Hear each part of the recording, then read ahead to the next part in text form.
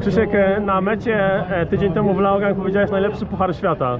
Teraz najlepsze Euro Mistrzostwa Europy? E, No na pewno najlepsze Mistrzostwa Europy, ale o ile tydzień temu na Mistrzostwach, e, fu, na Pucharze Świata miałem takie poczucie, że zrobiłem wszystko i jakby wszystko wyszło jak najlepiej, tak tutaj rzeczy mi trochę taki niedosyt, no dlatego, że gdzieś tam w okolicach przedostatniej rundy jechałem na jakiejś 11, 12 pozycji, e, no ale niestety na ostatniej rundzie trochę mi siadło w cudzysłowie.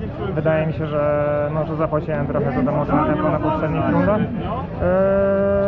Więc, więc, więc trochę szkoda, no ale mimo wszystko, jakby obiektywnie oceniając całe zawody, to, to myślę, że zaprezentowałem się fajnie.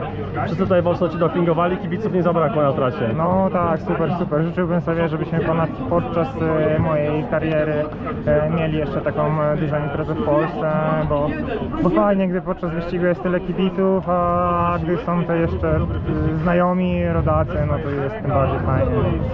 Val Sol, walka o top 20? E, nie wiem, e, zobaczymy. No w zasadzie ten e, mój e, blok startowy jest, jest dosyć e, duży. E, no póki co dyspozycja, e, póki co dyspozycja dopisuje, no więc e, na pewno tam pojadę i na pewno będę starał się jak najlepiej zaprezentować. Super, dzięki. Dzięki.